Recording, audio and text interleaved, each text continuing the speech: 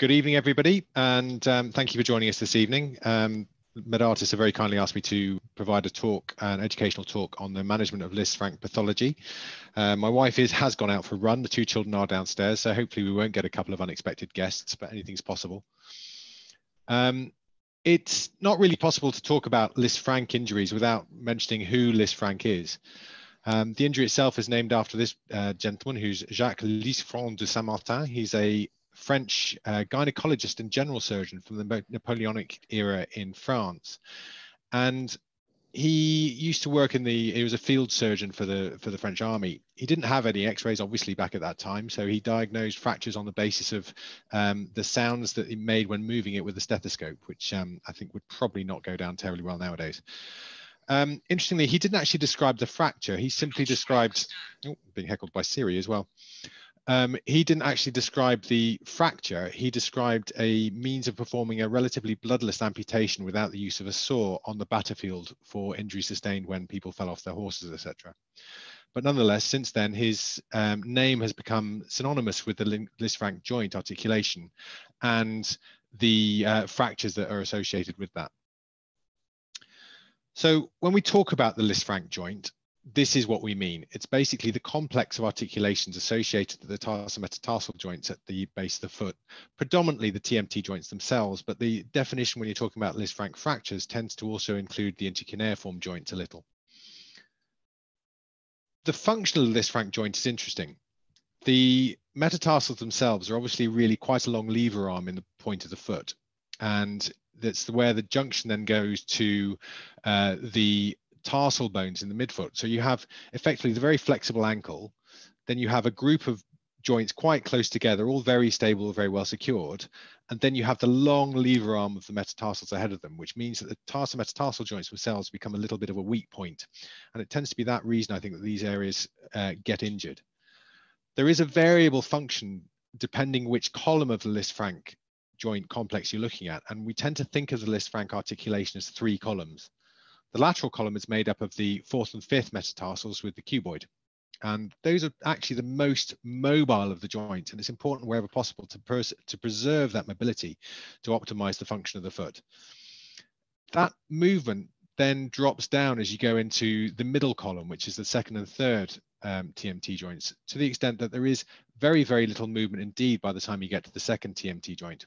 And the second TMT joint is both recessed back further in the foot between the uh, medial and the intermediate cuneiforms, but also on the sagittal view, oh, sorry, on the uh, um, axial view of the foot, as you'll see in a minute, it's recessed more as a keystone construct, and in fact is known as the keystone of the foot. The medial column, on the other hand, variably you can think about this just being the first metatarsal in the medial cuneiform or even extending back to the navicular, again regains a fair degree of movement, and that's both sagittal and coronal. And it's this movement that I think causes some of the uh, pathology that we see arising from the Lisfranc joint that you might experience in the more elective setting. Um, but equally, maintaining that movement, therefore, is possibly, maybe, associated with improved overall foot function. So this is the uh, transverse view that I said I'd mention in a minute, and you can see how the, the intermediate cuneiform sits like the keystone of the arch um, in between the medial and intermediate. The stability of the um, Lisfranc joint is predominantly on the plantar aspect. That's really where the money is. Obviously, the joints are surrounded by a capsule, but the dorsal capsule is a much more nebulous aponeurotic structure and, and just the simple capsular structure and a little bit of thickening rather than the really truly strong ligaments that you see on the plantar side. And the real um, emphasis goes on the Lisfranc ligament, which is that sort of bifurcate structure you can see coming from the um, medial cuneiform across the base of the second and third. And that's the uh, ligament that is often associated with the avulsion fractures that we see and look for very closely when we're looking for these injuries. So the Lisfranc itself can be involved in several different forms of pathology around the foot. The one that I'm going to concentrate on this talk is traumatic injuries. Um, the reason for that is instability of the Lisfranc areas is basically an entire topic on itself that's been dealt with uh, on a previous webinar by Christian Plaass in a lot more eloquence than I would probably ascribe to it. It's a talk I can thoroughly recommend looking at.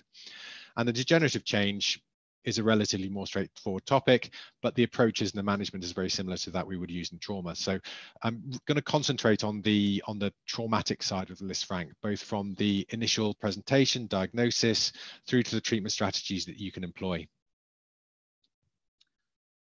So thinking about the Lisfranc injuries, how do they occur? Historically, and if you look at the textbooks, it's often ascribed to being a high energy injury that occurs during uh, road traffic accidents.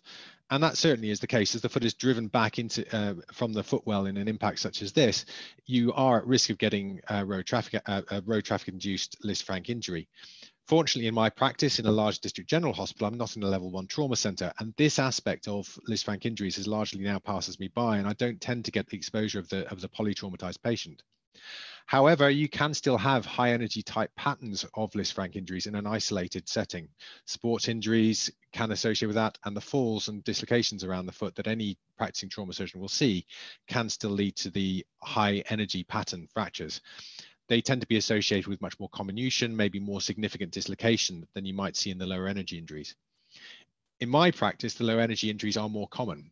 And actually, I think they're probably more difficult to manage and certainly more difficult to identify the severity of the force that can create these injuries can be surprisingly minor and is probably, at least in part, responsible for the very significant miss rate on initial presentation that these injuries suffer from.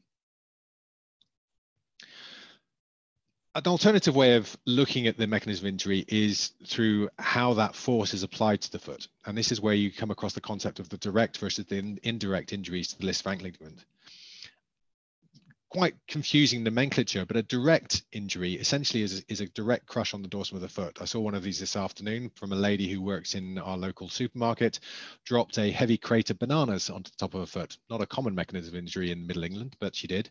And she sustained a, fortunately undisplaced, direct mechanism Lisfranc injury on her foot. The indirect injuries, on the other hand, are more the axial loading on the plantar flexed foot, uh, as you see in this in this drawing. Classically, sort of the ballet on point position, or if you look in the textbooks, you'll see the pictures of the um, football players where some another player lands on the heel of a foot where, a, where the foot's in a driving off position with the cleats embedded in the ground.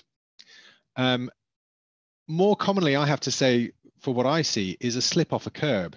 That simple putting your heel on the edge of a curb on the edge of a footpath forces the foot down into plantar flexion, and they then slip off the curb and land on the point of the on the foot, and that can be a very very innocuous, very unsuspecting injury that can lead to quite significant Lisfranc pathology these are the ones that are really often missed when you uh, when they present to A&E because the mechanism is so benign and the the fractures are so subtle when you look on x-ray that they often present late and that creates their own problems.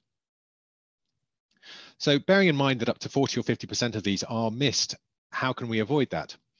As I said, they are often subtle. The mechanism of injury with that plantar flexion of the foot gives you a little bit of a clue, or perhaps football, twisting, wearing cleats, rugby, impact sports, etc., or fall from height. But th- that could really be quite misleading. You really need to be on your toes when you're looking out for these. Think about where the location of the patient's symptoms is. They will classically localize their pain towards the midfoot. The bruising can be quite extensive, but they will localize their pain and dysfunction towards the midfoot and point you very clearly in that direction. And if they do that, you need to look very, very carefully and think about additional imaging uh, modalities if your plain x-rays aren't adequate. We all, I hope, know about the plantar ecchymosis sign. Um, and again, this is something that I spend a lot of time teaching my trainees on. If you see this bruising pattern as you see in this x-ray, sorry, in the clinical picture opposite, if you see that on a patient who's had a recent trauma, however minor you think it might be, you need to spend good time looking for a Lisfranc injury and they need to be reviewed and serially x-rayed until you are happy there is no Lisfranc injury. Deformity is not initially common um, you have to have a very significant Lisfranc injury before deformity is part of the initial uh, presenting complaint. But the instability that arises at the midfoot as part of the destabilization of the TMT joints from the injury can result in quite subtle progressive deformity over weeks.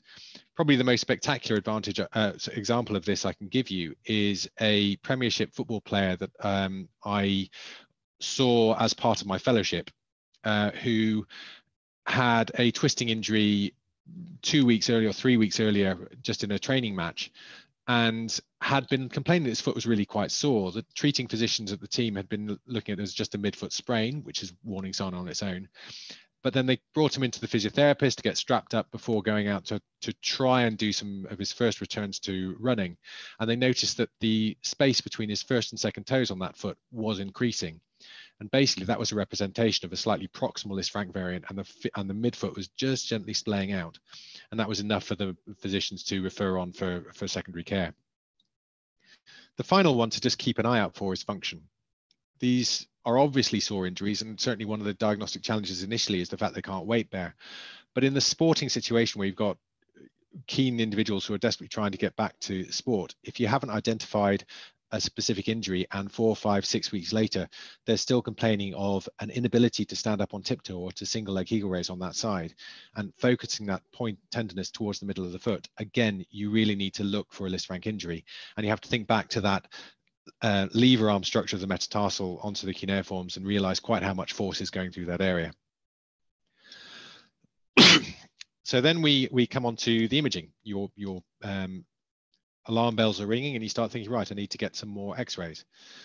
Now, plain film is obviously where you're going to start. It's what the casualty office, officers will arrange for you, and it's often where the pitfalls first starting to arise. When the patients are seen in A&E, they will almost universally be too painful and too sore to get a weight-bearing x-rays. Top that off, on, on first presentation, the radiographers will be reluctant to ask a patient to weight bear. You often get a simple non-weight bearing x-ray, such as the one you see here. When you're looking at these, sorry, it was uh, just jumped ahead a little bit. When you're looking at these, you need to understand what you're trying to look at. And it's a series of lines effectively that will help you try and pick up the subtle injuries. First of all, you're looking at the space between the base of the first metatarsal and the second. And there are arbitrary numbers that are out there as to the maximum space that exists. And I think those can occasionally be misleading. If you think it's a bit wide, look further, look closer. If you're still not sure, you could consider com getting comparative view, comparative views to the other side, but a lot of radiology departments don't like doing that. Look to see if the base of the first is looking congruent on the medial cuneiform. Then also look to see if the medial aspect of the second metatarsal lines up to the medial border of the intermediate cuneiform, and it should draw a very nice straight line. Any subluxation, however subtle, you need to look further. The oblique view then also gives it further information. You have the lateral border of the second metatarsal to the lateral border of the second of the intermediate cuneiform, and then the medial and lateral borders of the third lining up onto the lateral cuneiform. And again, there should be no significant steps or subluxations here. There is another sign that I've seen talked about before, which is the Nile sign, where the Lisfranc joints themselves start looking like they're widening out like the delta of a river, hence the, the Nile delta. I'm not so convinced that's a particularly useful sign. I think if you see it, great, but um, I haven't, I certainly haven't identified it myself. It may have seen me, but I haven't noticed it. Um, as I said, once you do get the plain films initially, it can be very difficult to identify any obvious pathology. This weight-bearing X-ray here, for example, you'd you'd have to say your casualty officer would be on um, particularly good day to notice anything significant going on here. Even when you zoom in, it's a very subtle little fleck of calcification that you're seeing in the zone of the Lisfranc ligament at that um, proximal lateral border of the first metatarsal that might give you an indication something might be going on. By the time you see the patient at two weeks, though, the patients are usually able to put weight on the foot. And that weight bearing through the foot, sufficient to cause discomfort to the patient at that stage, is usually enough to create a degree of instability and to give you that stressed x ray that will give you an identification that there is instability here. And you can see on this x-ray, which is the same patient, simply re-x-rayed two weeks later, there is that subluxation and slip starting to occur at the junction between the um, intermediate cuneiform and the second metatarsal, indicating instability in that area. With regards to CT, I CT almost all of my Lisfranc injuries um, without exception. And the reason for this is I find it very useful in treatment planning there are numerous subtle injuries that can go along with Lisfrancs. the subtle nutcracker injury, the cuboid that I'll come to later, um, or little capsular avulsion fractures around adjacent TMT joints that give you an indication that the stability to those joints may have been compromised. And it's very useful to know those uh, capsular avulsions exist before you go into theatre to make sure that you don't leave untreated an area of instability. So I can't emphasize enough, I think CT scan as a preoperative assessment and planning tool for Lisfranc fractures is absolutely essential. With regards to MRI, I don't find that anywhere near as useful. I don't tend to use it uh, on a regular basis. Having said that, I did request one for a Lisfranc injury today. Um, I had a gentleman who presented late, having not attended his previous fracture clinic uh, appointments, and his function was remarkably good for what looked like a Lisfranc injury. So I've arranged for an MRI scan to see whether it's actually an acute injury or whether it's a more long-standing problem. But aside from that, there's very little information additional that an MRI scan will give you above a CT. People always talk about classification systems, and certainly when you're coming close to exams, classification systems are a very popular uh, choice of revision. I have to say, I don't find classifications particularly useful in clinical practice in terms of I don't find them uh, helpful in guiding what treatment strategy I'm going to use, and I don't find them particularly helpful in terms of giving an indication on prognosis. Um, they give you an idea potentially of where to look for the additional injuries, but I don't find them um, in any way useful in my practice. There's a variety of different ones for them detailed here. There's a couple of others that look at the um, ligamentous injury patterns, but I, I don't find them useful in practice. What we do find useful is any form of a uh, treatment strategy. Um, and to a degree, you know, this covers most things in orthopedics, uh, but it would be nice for something a little bit more formal. And there are a variety of treatment strategies out there in the literature that you can identify and see, but they're often they're a little bit more complicated than I think actually is particularly helpful and useful in a day-to-day -day setting. I prefer something much more along this sort of line. And this perhaps represents the fact that I think you do need to be quite aggressive in treating these. First and foremost, when you see them, it is, is the Lisfranc joint injured? And if it's just a simple midfoot sprain without any, um, or midfoot bruise without any significant injury, then the answer may be no, in which case, obviously, you're going to treat it conservatively. If it is injured, then the first question is, is it displaced? If it's displaced, you've got your answers immediately about whether or not you're going to need to do something and you're going to need to go to surgery. I'll come to what you do at that point in a little bit. If it isn't displaced, then you need to know if it's unstable. And that's where your stress x-rays or your weight bearing x-rays become very important. And I think I would review the stress x-rays as not necessarily a single point. Um, if you have identified an injury to the Lisfranc area and you performed a stress x-ray at two weeks and you think the patient is uh, showing a stable uh, Lisfranc injury, that is not the end of your assessment of that, uh, that process. I think you need to then repeat those x-rays at a later date during the treatment pathway of that patient. So the way we will look after in our unit the provisionally stable Lisfranc injury is a stress x-ray at two weeks. If we still think it is stable, we'll manage it non-weight bearing in a cast for six weeks. And that pretty much doesn't matter what the patient's presented you in. So quite often you'll get them walking in or limping in or hobbling in in a, in a simple heel offloading or toe offloading shoe. Put them into a cast, keep them non-weight bearing until they reach the six week stage.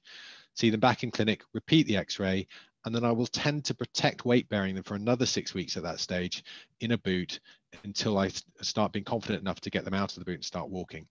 And really, that's a representation of quite how long it can take for ligamentous injuries around the Lisfranc joint to heal. And you need that confidence that the joint is going to maintain stability before you start moving them on to the next step. If the Lisfranc joint is unstable, however, again, you're going to go towards the surgical intervention. So if it's either displaced or unstable, unless you've got very good reasons, you're looking at a surgical intervention. How you go about intervening surgically is a little bit more up for debate. And this really is the great debate when you're looking at the Lisfranc injuries. Um, essentially, it comes down to one of two options. You either have joint preserving strategies or joint sacrificing strategies, by which I mean primary arthrodesis. The joint preserving ones, there's a little bit more variety in what you can choose. Um, people do still occasionally advocate K-wires. I'm not one of them for reasons I'll show you in a minute. Equally, I'm not a fan of transarticular screws, as I'll discuss in a minute. Um, my preferred option for joint preserving strategies when appropriate is bridge plating. joint sacrificing is a standard arthrodesis technique of your choice to a degree, although you need to be aware that the stability of the area may be slightly compromised and you therefore may need to incorporate a bit more stability into your fixation. But again, I'll come to how I recommend or how I personally uh, pursue that in a minute. To give you a reason why I don't um, like the concept of K-wire fixation as a stabilization. Now, this is just one case, but I think it does illustrate the point. This is a, a, a case who's come to me um, from a uh, another hospital in our region, I'm pleased to say. Um, initially presented a couple of years ago with this injury and was taken to theatre the following day and had, um, I think he was turned into a satellite in terms of K-wire fixation in his foot. And if you look carefully, you can see that the base of the first metatarsal is not well reduced, neither is the intercuneiform space. Um, they've simply reduced the foot and tried to stabilize it with the K-wires. Predictably, um, it didn't do well. He went on to develop arth arthritis. Um, he had problems with DVT, chronic pain. By the time we got to him, it was nearly uh, two years down the line, and he's finally had a salvage arthrodesis from which he's doing very well.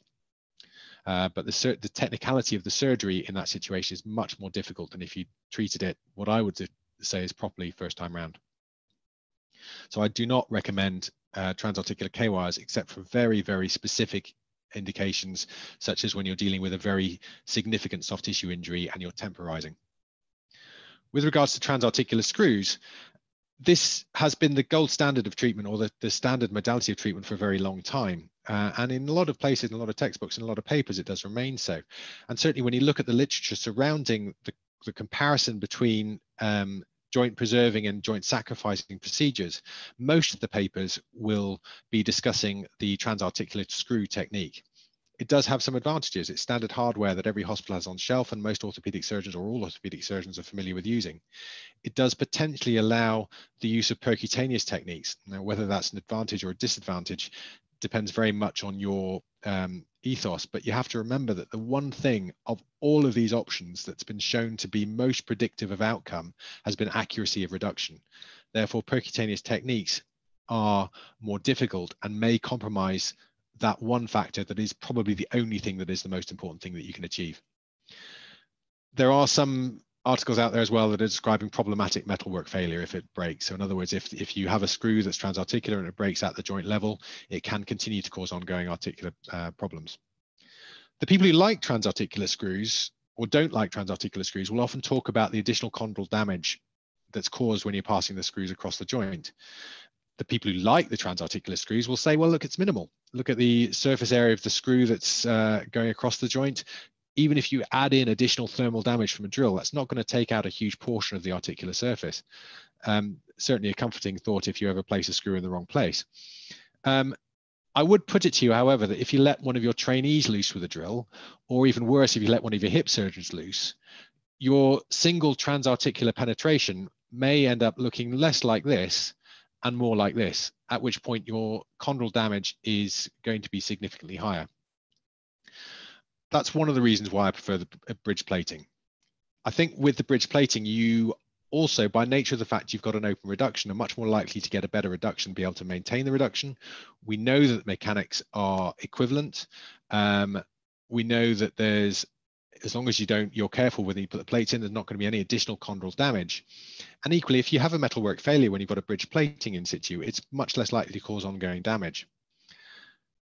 Finally, I, I also have to think that the transarticular screws, although in theory this papers do suggest that the biomechanics are optimal, the, the amount of metal that you can put in place to support a Lisfranc joint, which is potentially unstable, is less. And you do see these, these problematic um, metalwork failures. As I said, I think that bridge plating, such as shown here, um, is more likely to give you a better outcome from the base of the fact that you've improved your reduction. And one thing I think we can take from the papers that compare bridge plating, sorry, uh, transarticular screw fixation to um, the uh, primary arthrodesis is that accuracy reduction is key. There are some papers that do support the concept of reduced instance of degenerative change with bridge plating above transarticular screws, but I think it's important to realize that these um, uh, these numbers involved in these cases are relatively small, so you may simply be looking at a, a statistical error.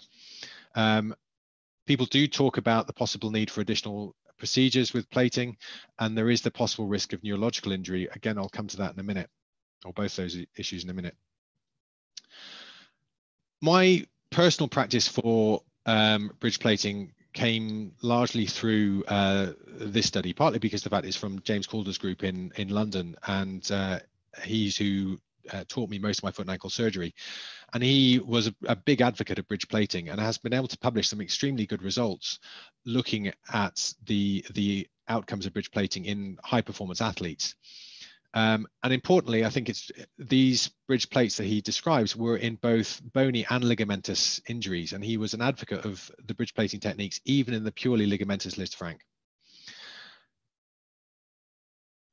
With regards to the additional procedures, people do um, talk about that being a routine option when you're doing the bridge plating. And a lot of the papers that compare the, the uh, joint sacrificing and joint salvage procedures uh, talk about routine metalwork removal as being part of um, the, the surgical profile. So they talk about numbers of procedures and they use that removal of metalwork as being a reason not to do a joint, a joint um, preserving procedure. It's interesting now, though, that there are starting to be some papers coming out to say that's not necessarily uh, required.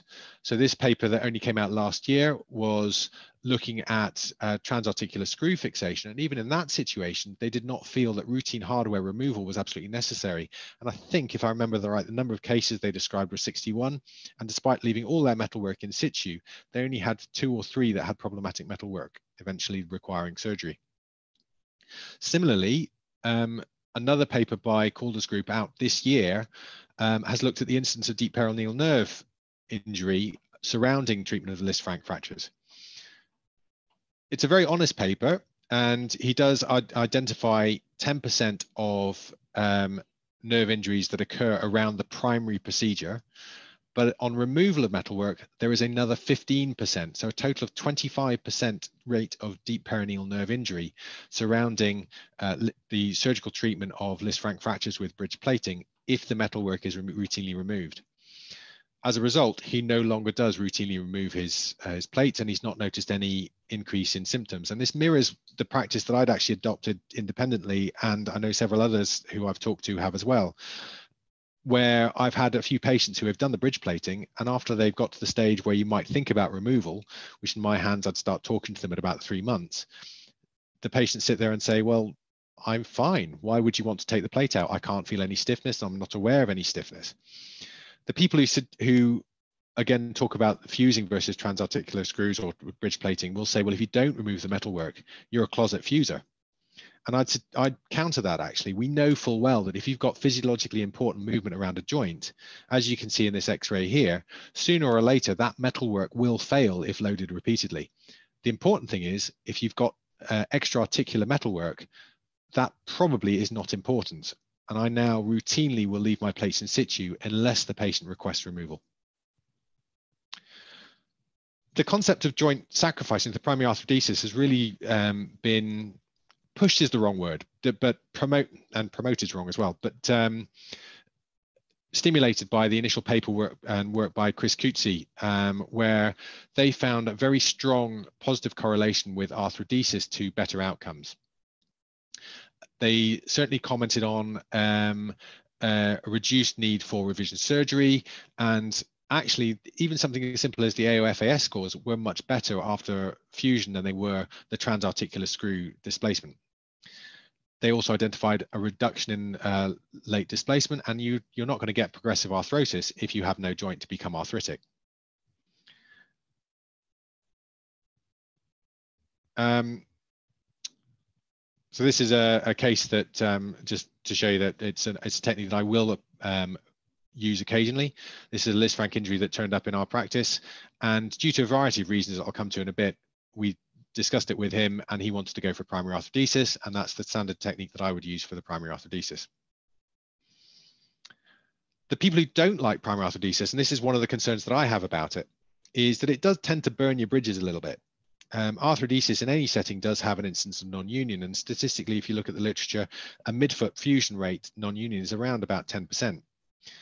The sacrifice of the midfoot joints and midfoot movements is also of slight concern. As we covered at the start of the talk, the second and third metatarsals probably don't move awfully much and are probably superfluous. But the first TMT joint is more functional. And certainly that fusing that area, I think, does cause some ongoing symptoms to the patient and may potentially have longer term sequelae. There just aren't the studies out there to look at the incidence of perhaps navicular cuneiform or navicular joint arthritis 10, 20, 30 years down the line from uh, TMT joint fusions. As a final one, metatarsalgia following midfoot fusions is quite difficult to treat. If you get the inclination of your metatarsal wrong and you overload the MTP joint, you can get difficult and symptomatic metatarsalgia. It makes you very unpopular the most recent meta-analysis that I was able to find when preparing for this talk is this one that was in the Foot and Ankle Surgery Journal last year. And I think eh, this this is predominantly looking at, um, or most of the papers they found in their study were transarticular screws. But even looking at the most up-to-date literature, there's a suggestion that um, arthrodesis may be associated with better outcomes than ORIF but the important feature is that the current literature is limited and it's not sufficient to make strong recommendations. I think the take home from this is really treat your patients as an individual, discuss the options with the patients carefully, and um, you can pretty much defend whichever choice you decide to make. A final thing that, again, that has been published recently, which I think is actually quite an interesting concept, is this hybrid approach. I personally am not too worried about the concept of fusing the second and third TMT joints. There is this wor the worry about non-union, but the function of those two I do think is probably relatively superfluous. But I do like the idea of, preserve, of uh, preserving joint movement of the first TMT joint. And this paper from Denmark recently has looked at a hybrid construct where they fuse the second and third TMT joints and they bridge plate temporarily the first TMT joint they did find that after two years, there was a relatively high incidence of osteoarthritis in the first TMT joint evident on x-ray, but very few of those patients had needed to progress towards arthrodesis. And importantly, they did note that um, the bridge plating technique improved the alignment of the first ray overall. And again, it comes back to that um, uh, alignment is probably the most important feature when it comes to patient outcomes. So I, I, do think this is quite an interesting concept and it may well be a aspect of practice that I'm, I'm going to adopt going forward. When you're looking at Lisfranc injuries, it's important to keep your eye out for the atypical variants. And for these or the atypical fracture patterns that you can see. The nutcracker fracture, if you have the forefoot that's forcibly abducted, you can end up in a situation where the cuboid is essentially crushed between the anterior process, the calcaneum, and the uh, fourth and fifth metatarsals. There's the proximal variant, which is looking again at the medial side where the fracture pattern can, rather than be second, third TMT joints, first TMT joint to medial cuneiform, the force actually exits out between the medial and intermediate cuneiforms and, and can damage the uh, navicular cuneiform joint on that ray. Or you can have the isolated medial ray instability, which is quite an unusual fracture pattern, but important to appreciate and important to identify. So examples of those, um, this is a nutcracker fracture and apologies for use of a 3D recon, but it's the easiest way of getting the most information out there. And you can see how the um, fourth and fifth metatarsals have effectively been pile driven into the, into the cuboid. Um, which if left alone is going to cause significant problems. You need to work out a way of getting those um, metatarsals disimpacted, stabilized to maintain that lateral foot length. Otherwise, you're going to get an abduction deformity across the, the, the midfoot. The proximal variant is shown here, and you can see clearly how that space between the medial and intermediate cuneiforms is significantly widened. And in this in, in instance as well, there is the fracture at the navicular. I'll show you some more pictures on this later. I think the important thing to realize here is that's a spectacular option, uh, version of one of these. And even subtle widening of that medial intermediate cuneiform space needs to be acknowledged when you're planning your surgical strategy. The final one is that isolated medial ray. If you had a significant dorsiflexion moment across the hallux, you can end up with a simple fracture at the base of the first metatarsal like that that can uh, provide simple instability of the, of the um, first metatarsal. So what do I do? Um, is it fuse or is it bridge? And actually, it's a little bit of both. My preference, where possible, is to bridge. I prefer to keep that joint movement in the midfoot if I look at it on a case by case basis, I will tend to head towards fusion if there is any evidence at all of pre-existing osteoarthritis in the midfoot. From experience, if there is any suggestion that has been ongoing degenerative change there, they're going to grumble at you after a, um, a bridge plating. Any suggestion that the articular surfaces are significantly comminuted, I'm going to again push quite hard towards fusion. ligamentous injuries, patient dictated at that point. It just is a, with the literature that's out there. I think it's a warning sign that you may be better off with fusion. But again, it's something that I would discuss with a patient. And then it's patient factors. Are they um, BMI 40 and going to do very badly with any form of joint preserving structure? Um, or do they have a strong preference? Do they just want to have one operation? Um, if I favor, if I look at what makes me go towards bridging, if the articular surfaces are reasonably well preserved, if it's a predominantly bony injury that um, uh, means that once those bones have healed, the stability is going to be restored. Uh, the younger age group, certainly. And then again, patient factors, patient preference. Are they very active, very sporty? Do they want to try? Do I th think that that maintenance of midfoot movement is more likely to be important? And it's a, it's a discussion that I have on an individual patient with every patient with every, in every case to see which way they would like to go. In some instances, I'll push more towards fusion. In some instances, I'll push more towards bridging. When it comes to how I do it, um, I personally prefer the two incision approach to bridge plating. What I mean by that is it's possible to address the first, second, and third TMT joints through a single um, incision over the uh, first, second interspace.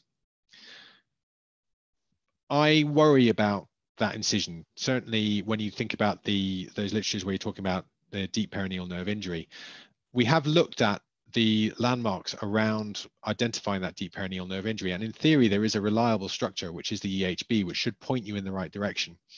And basically, where the EHB muscle turns from uh, muscle into tendon, over that transition zone or underneath that transition zone, the deep peroneal nerve almost always emerges. And that's a very reliable landmark.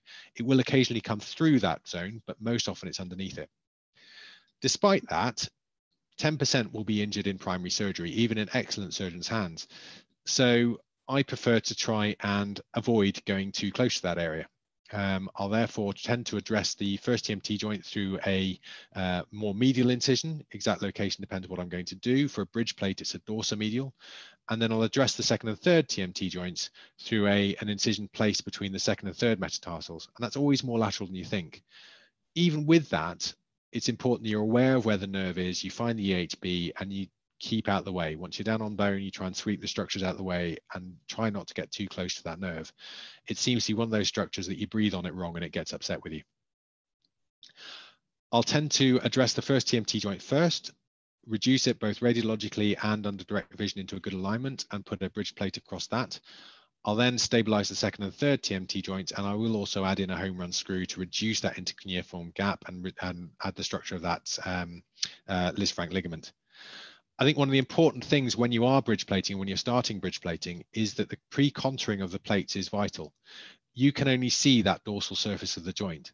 And if you don't pre-contour the plates accurately, then you may well end up with plantar gapping. So you may get a beautifully reduced and, and contoured dorsal surface, but if you haven't accurately bent the plate before you put it on, it may pull the metatarsal up before you and you get more plantar gapping. So you need to be aware of that during your operation, make sure that hasn't occurred.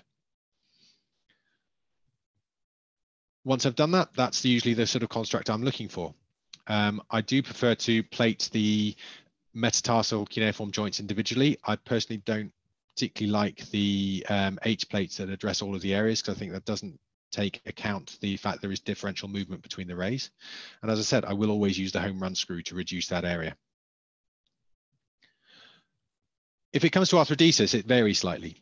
Um, I will still use that second incision between the second and third uh, metatarsals, but over recent years, I've become an increasing fan of the plantar lapidus plate to um, put the fusion, um, the tension band construct on the correct side biomechanically.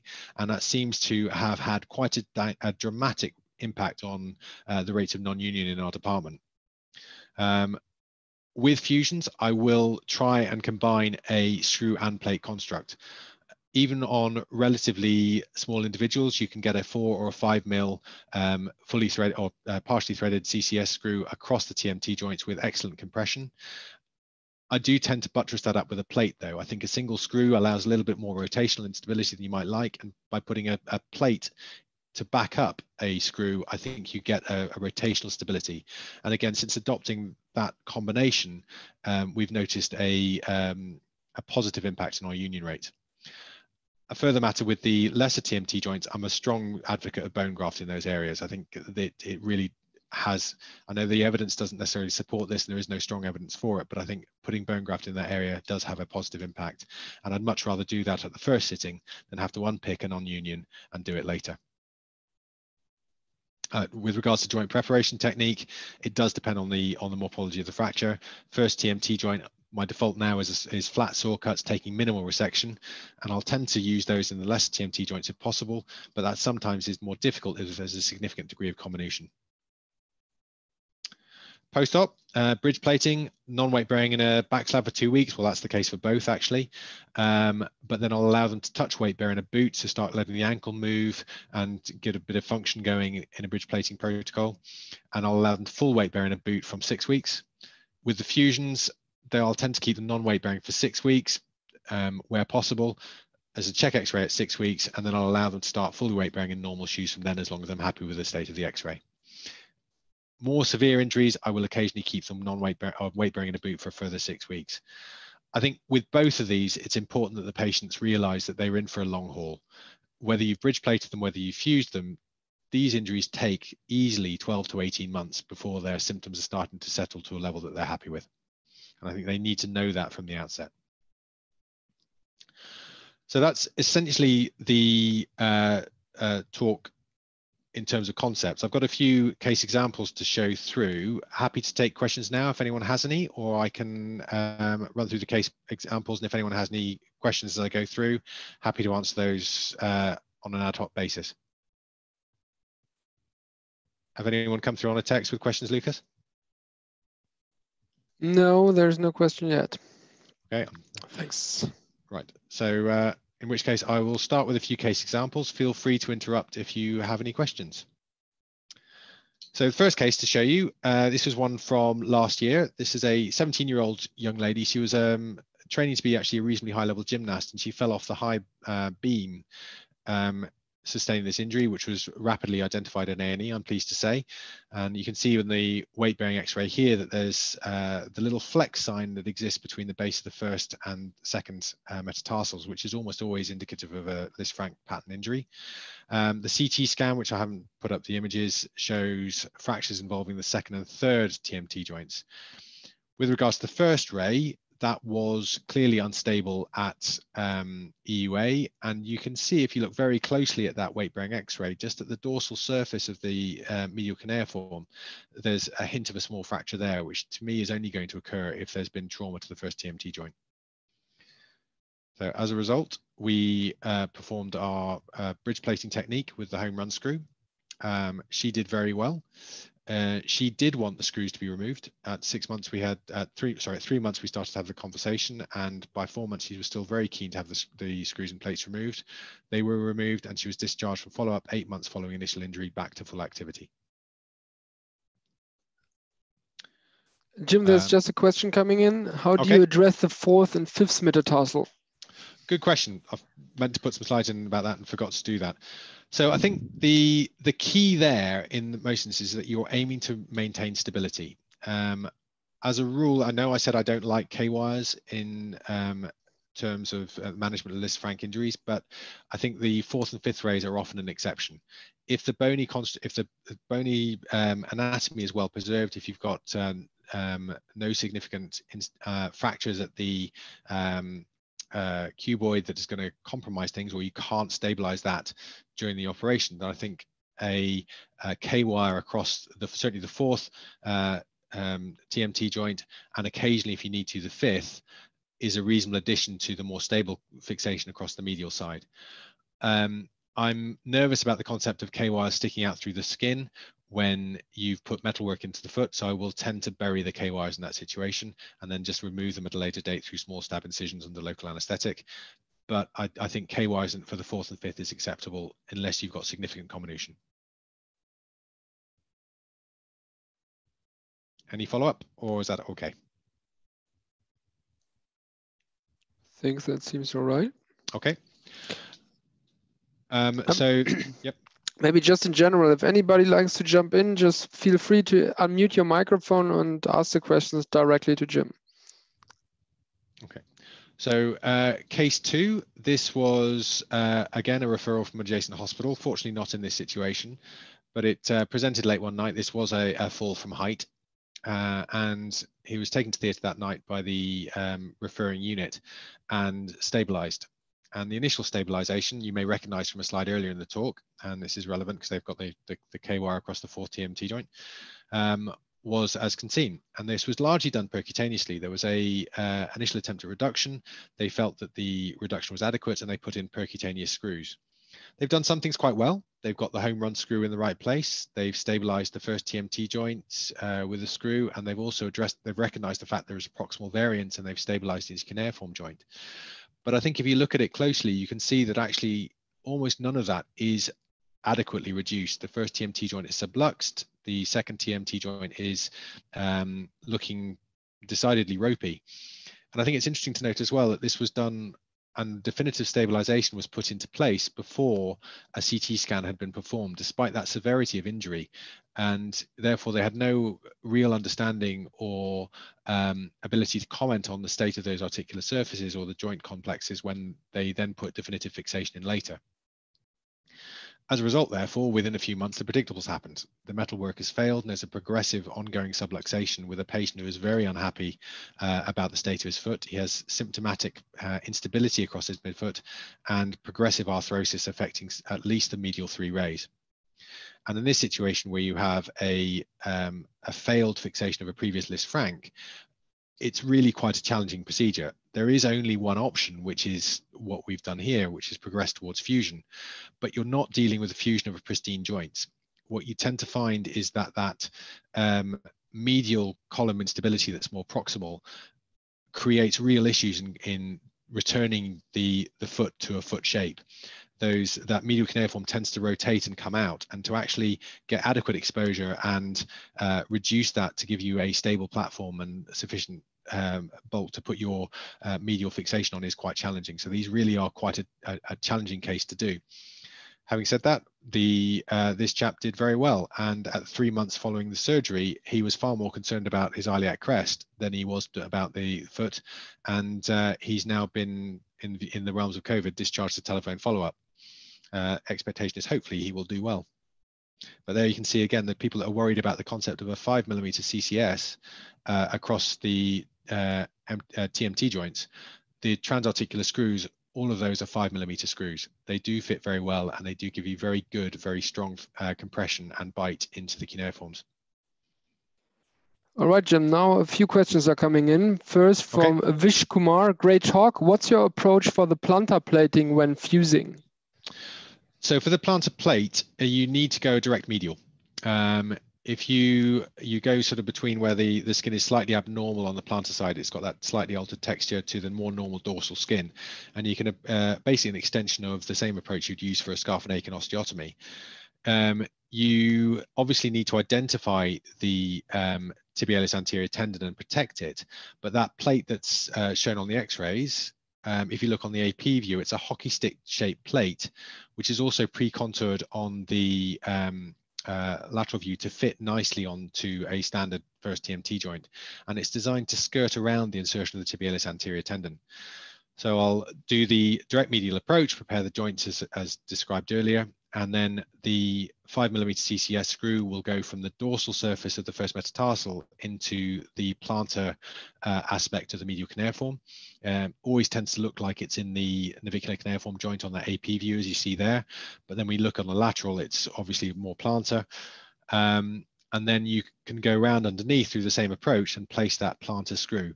You have to remember that the plantar aspect of the first metatarsal isn't completely flat and tucked around the corner. There's that slope that if you look, you know, Baruch always used to talk about as to the guide as to the angle of his screws, that you can place that, that plate underneath. It's a little tight, it's a little bit of a fiddle, but I think the payback in terms of improving the biomechanics of that structure and construct are very much worth that extra effort in doing it. All right, that I think was a Great answer. So then from Robbie Ray, great talk, Jim. I used to do two incisions, as you said, but moved to an OPI approach with one incision and three windows. This way I can test the TN joint and NC joints with the McDonald's and can bridge as necessary. Uh, I do it more frequently than I initially thought I would. How do you access these joints through uh, two incisions? Uh, as in the intercuneiform um, Rabbi, or the uh, navicular cuneiform? Uh, both, Jim. The NC joints and also all the way up to TN joint. Just, just so the, um, I check them all. So if it's um, uh, a bridge plating construct I'm going for, then the medial incision um, is over the dorsum of the first ray and you can take that back up to get to the medial aspect of the talonavicular joint and you're effectively coming just adjacent to the tibialis anterior by the time you get back that far which is actually the approach that i would tend to use for fusing those joints in the first place. And then likewise the more lateral incision you can come back up further. And on a couple of occasions i have had to open the navicular cuneiform joints um, through that more lateral incision to get to the lateral rays admittedly that's because I've broken a bit of wire or something in that joint, but you can actually get up to and you can see into those joints if you need to.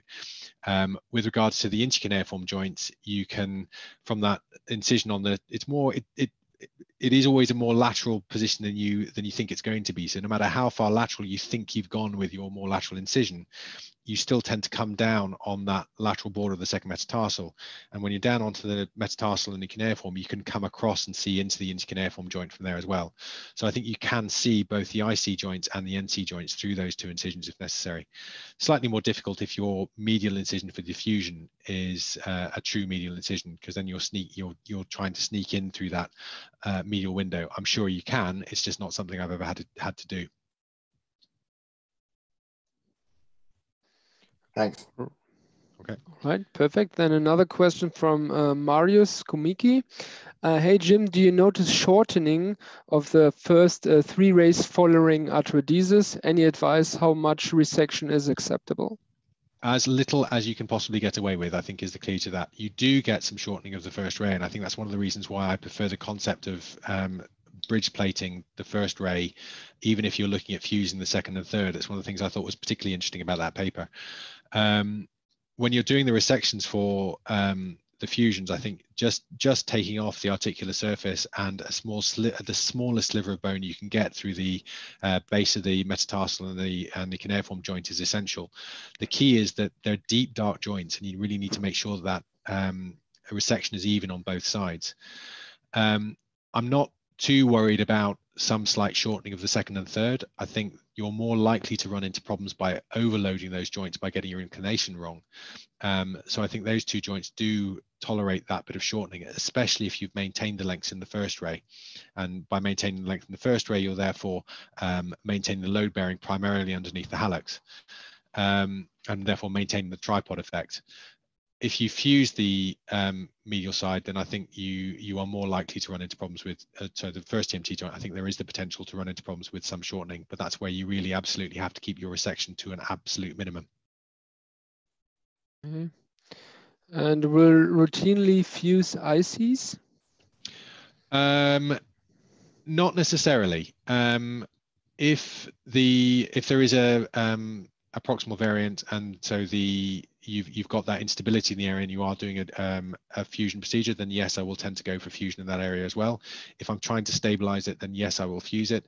Um, I don't tend to try and fuse the interval between the um, medial and lateral, uh, so the intermediate and lateral cuneiforms. I've never known that to be a problem. But that uh, instability that can arise between the, me the medial and intermediate, I think does occasionally need formal fusing, in which case I will prepare that joint formally and occasionally use bone graft in that area as well. Perfect. Then from uh, Ryu, uh, athletes do well, but um, they do not get back to the same intensity, um, respectively well reported in Americans Footballers Journal, Michael et al. 2016. Yeah, no, there, there is definitely an, an, instance of them not getting back, and that was one of the reasons when uh, James Calder's paper first came out. It was very interesting. Um, the athletes that he looked at in his uh, were Premiership rugby players, Premiership football players, which you could argue are at least as demanding as the American football players. Um, they they they certainly do not all get back, and I, uh, the last thing I would want to try and suggest is that if you bridge plate the um, all of these injuries, they will all get back. It is a very, very significant foot injury. It is not necessarily the end of a career, but the patients need to know that that is a possibility um, and that it, they are up against it. I've had exactly that conversation today with a soldier. Okay. Uh, then another question from uh, Marius Kumiki again. Another question, please, is regarding the comminuted impacted cuboid fractures. Is plating enough to restore the length and stability of the lateral column? Uh, give me half a second. Uh, I'll come back to that one in a minute and we'll talk about this chap. Um, so this is a case example that just exa uh, illustrates exactly that point actually. Um, this was one I looked after a few years ago. He's an international level show jumper and um, he uh, fell from the horse, got his foot caught in the stirrup. When the foot came out of the stirrup, the horse, to add insult to industry, stomped on him. So he had a combination of sort of twisting, uh, forced injury, landing on the foot in a plantar flex position, and then the horse standing on his foot. So he really did a very good job on himself. Um, the CT scan was that uh, fracture I showed you earlier with the 3D reconstruction, where you could see that the uh, fourth and fifth metatarsals were impacted directly into the cuboid. In addition to that, there was comminuted fracture at the base of the third metatarsal. There was a fracture involving the second TMT joint and some uh, bone debris around the first TMT joint that was indicating a degree of disruption there. And so I really went into this foot uh, with a lot of options available as to what I was going to do.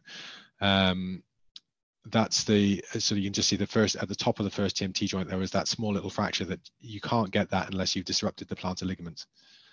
Um, and then the lateral side had um, progressively more severe injuries because you went across.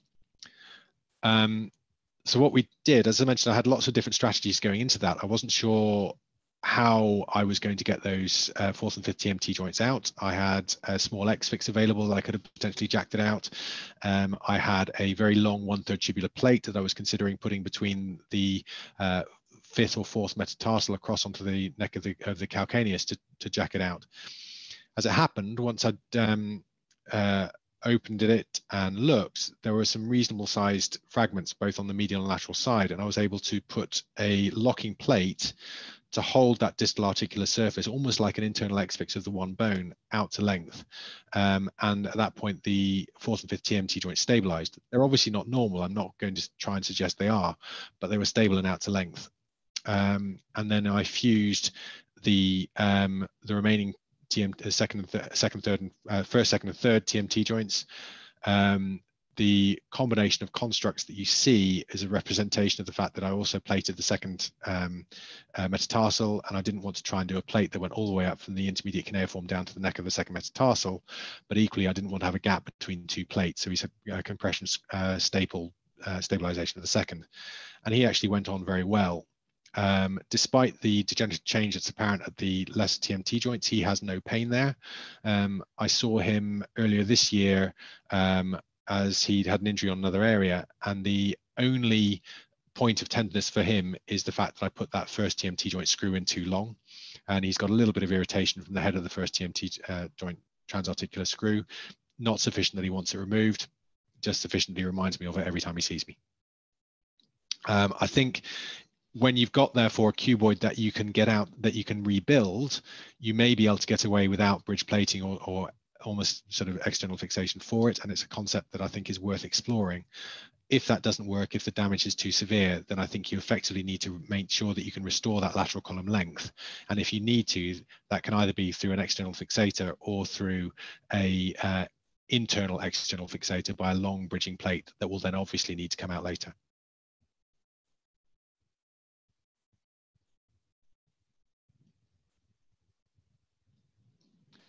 On the second mat, are those staples or? They are. They're Nitinol compression staples. Um, ah, okay. Was, so when I, do you decide to go for a staple and when for a plate, or? Um, staple was my was my old default when I first started practice. It was one of the ways I'd seen done, and I quite like the concept of ongoing compression. Mm -hmm. um, so in this situation, it was purely done because I didn't want a short plate or um, uh, adjacent to a, a, longer plate plate in the metatarsal. So I didn't want to have sort of two plates with a small gap in the middle and a stress riser. Um, so the other option I had on the shelf was Nitinol staples. Oh, okay, they, fine. They worked very well. in this instance. I think as a as a default, normally I worry about the stability that they give, and I, I don't like them as a as a, a more permanent option. Mm -hmm. Okay, another example of uh, the slightly um, varied one. This was again one of the one of the X-rays that I showed you earlier. This was that proximal variant. She was a low energy kitchen fall and a 34 year old housewife. Um, otherwise fit and well, just had this rather nasty proximal variant on the medial side. And you can see on the CT scan that there's uh, both avulsion fractures at the Lisfranc ligament and a comminution of the navicular. Um, and this was a rather unusual one where we um, fused the intercuneiform joint, fused the um, uh, medial uh, cuneiform, navicular cuneiform joint, and then added the home run screw. Um, and again, she was one that, that did remarkably well. Um, she was discharged at nine months with no further follow-up required. Um, interestingly, she has had a further fall two or three years later, and the home run screw is broken, uh, but has not caused her any problems. So nearly there if people are still with me. Um, I mentioned briefly that proximal variant um, of the first metatarsal, not the proximal variant, sorry, the isolated medial instability with, with fracture. And I think this is where you just need to be thinking a little bit clearly about what causes the stability of these joints. Um, this was a 15 year old chap who just fell mucking around with his brother again in the kitchen, the dangerous places. And on the actual CTs, there was clear instability arising from this metatarsal. There was not a congruent TMT joint for the remaining fragment. Um, and um, we decided to address it. The initial plan was to buttress plate that, and I have to say that was uh, inexperience on my behalf looking at the location of that fracture, and it was far, far, far more lateral than I appreciated when I was looking at the CT scan. And if you do get these, I encourage you to look at it very carefully because that caused me a lot of confusion inoperatively. But we were able to stabilize it with um, two CCS screws, two three millimeter CCS screws. And again, he's done extremely well. Um, no ongoing symptoms, which I think was um, uh, a good outcome for him. Um, last one was a cautionary tale. This is just to show that I'm not showing all my good results. This was a 55 year old lady who was actually the senior sister on our trauma and orthopedic ward who did the classic slip off the curb, uh, sustaining a Lisfranc injury, um, which was fortunately identified.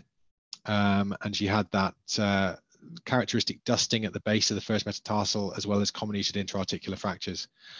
Now, if I was to look at this now, I would look at that second TMT joint and I'd say there's not an awful lot of joint space there that would be quite suggestive of ongoing degenerative change, especially in a 55 year old lady who spent her entire career on her feet. And that might have pushed me more towards a different way of treating it. But at the time, it's optimistic and um, I bridge plated her. Uh, the operation went fine and um, I was very pleased with the result. But she was one of those unlucky ones that had a deep peroneal nerve injury at the time of the initial operation. She was one I did through a single incision um, and is probably the individual that's been most influential and pushed me away from that. Um, she had ongoing symptoms. Um, we took the plates out. We um, injected her. Ultimately, we went on to do revise her to a, um, a fusion with bone grafting. Um, we dealt with the uh, deep peroneal nerve injury by finding it proximally and burying it into the navicular. Um, and um, she has done okay, but I think she is one of those one of those ones that you wish you'd done differently at the time. And I think if I had my time again with her, she would have been one that I would have done. A, I'd have paid more attention to the possibility of pre-existing degenerative change, and I'd have primarily fused her. So in conclusion, um, before I take any further questions, I think it's very important that you don't look at the Lisfranc injury as a single entity. There is a very wide variety, both in terms of patient and injury characteristics you can get, and you need to have a full armory of possible techniques, whether it's bridge plating, fusion, uh, whatever you choose to do to address these. You need to take each individual and each, each patient uh, as an individual. On occasion, you need to understand the anatomy and the mechanics of not just the joints themselves, but of the, how the injuries occurred and be aware for those nutcracker injuries, proximal variants that may otherwise um, steer you astray. And I think it's also important to realize that both arthrodesis and ORIF can give you good outcomes. And if anything, the weight of the literature supports arthrodesis ahead of ORIF. I have a slight feeling that I think um, the bridge plating is underrepresented in the literature. It's a more new technique, and I think as we go forward, we may find that the bridge plating will at least be equal to the to arthrodesis. But at the moment, I think it's safe to say that you can justify whichever technique you choose to. And I think it's both the factors of the injury and the characteristics of the patient that you need to understand carefully and discuss the options very carefully with the patient before you make the definitive treatment choice. And I think it really is one of those injuries that you have to have the patient on board before you start the process of treating because they're going to be with you for a long time. And they are one of those injuries that grumbles for a long time before they settle down fully. And that's it. Any questions?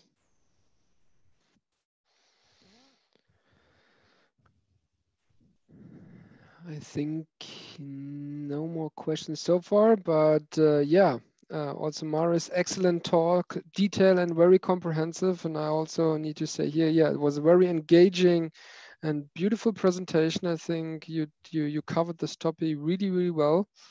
And um, yeah, also thank you so much from my side for preparing this beautiful talk. And um, yeah, if there are any more questions, please feel free to ask. Excellent talk here again from Raju, from Josh. A lot of people loved it as it looks.